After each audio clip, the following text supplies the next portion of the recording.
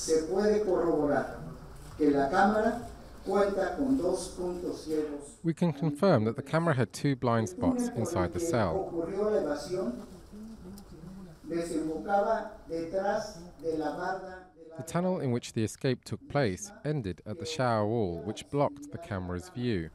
The video shows how the inmate, at 20, 50, and 45 seconds, was standing in front of the blind spot at the toilet located on the floor, frente al punto ciego de la letrina a ras de piso. and at 20, 51, and 9 seconds, he went past the shower blind spot.